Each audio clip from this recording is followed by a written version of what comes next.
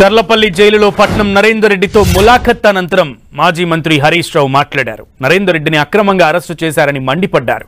ప్రజల పక్షాన పోరాటం చేస్తున్న బీఆర్ఎస్ నాయకులపై అక్రమ కేసులు పెడుతున్నారని ఆగ్రహం వ్యక్తం చేశారు హరీష్. అన్యాయంగా పేద ప్రజల భూములను లాక్కోవాలని చూస్తున్నారని దుయ్యబట్టారు. సీఎం రేవంత్ రెడ్డిపై ప్రజా వ్యతిరేకత కొడంగల్ నుంచే ప్రారంభమైందని మాజీ మంత్రి హరీష్ రావు అన్నారు. నరేందర్ రెడ్డి గారు అక్కడ ఒక ప్రతిపక్ష నాయకుడిగా మాజీ ఎమ్మెల్యేగా ప్రజలు గిరిజనులు రైతులు తన దగ్గరికి వచ్చినప్పుడు తను నైతిక మద్దతునిచ్చాడు. ప్రభుత్వం దృష్టికి తీసుకుపోయాడు. ప్రభుత్వంతో ఈ భూములు తీసుకోవద్దని చెప్పి ఆ రైతుల కోసం ఆయన మాట్లాడే ప్రయత్నం చేసినాడు. పార్టీ దృష్టికి తెచ్చాడు.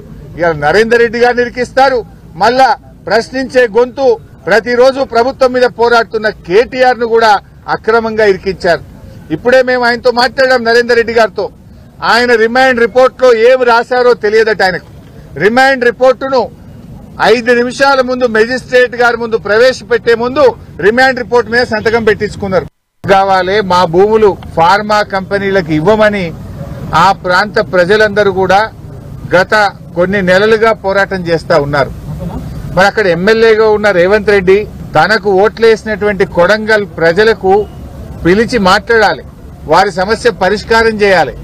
కానీ పోలీసుల చేత గుండాల చేత రాజకీయ నాయకుల చేత వాళ్ళని బెదిరించేటువంటి ప్రయత్నానికి రేవంత్ రెడ్డి గారు పాల్పడతా ఉన్నారు. ఇవాళ మీరు ప్రతిపక్షాల మీద అక్రమ కేసులు పెట్టచ్చు కానీ ప్రజా తిరుగుబాటు నుంచి తప్పించుకోలేరు. ఇవాళ నేను అడుగుతా ఉన్నా ఎవరు జరిగినా బీఆర్ఎస్ కుట్ర అంటాడు. రైతు భరోసా రాలేదు రైతులకు రుణమాఫీ కాలేదని రైతులు రోడ్ల మీదకి వస్తే బీఆర్ఎస్ పార్టీ రైతుల చేత ధర్నా చేయిస్తుందని ముఖ్యమంత్రి గారు మాట్లాడుతూ ఉంటారు.